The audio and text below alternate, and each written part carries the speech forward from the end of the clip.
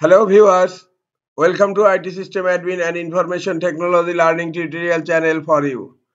Today in this tutorial I am going to show you how to enable and view boot log on Windows 11 computer.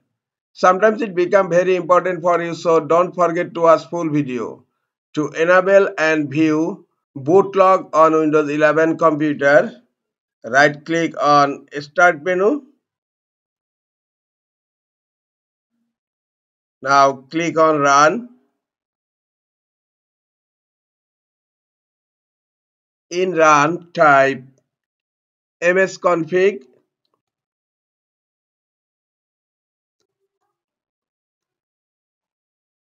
Now click on OK. System configuration has been opened. Now click on boot tab here you will find an option boot log. Click on boot log.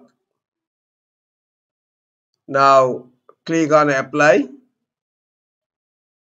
and then click on OK. Now you need to restart your computer.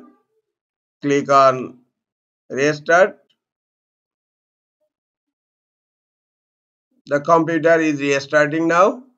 Now log in my computer. Now I am going to show you how to view the bootlog file. Open File Explorer. Go to this PC.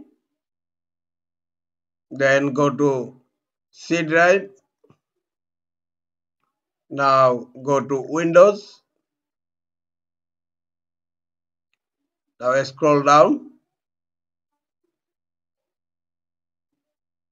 Look, this is the bootlog file. This is a text file. You will get all services name which run in boot time.